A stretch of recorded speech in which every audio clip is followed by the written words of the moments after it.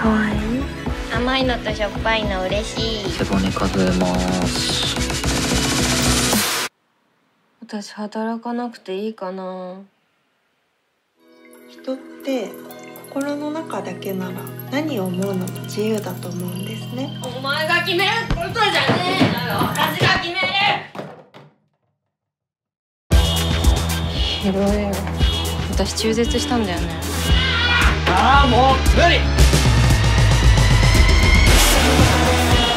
ねえ私おかしいかな大丈夫だよ。100年後には全員死んでるでしょ。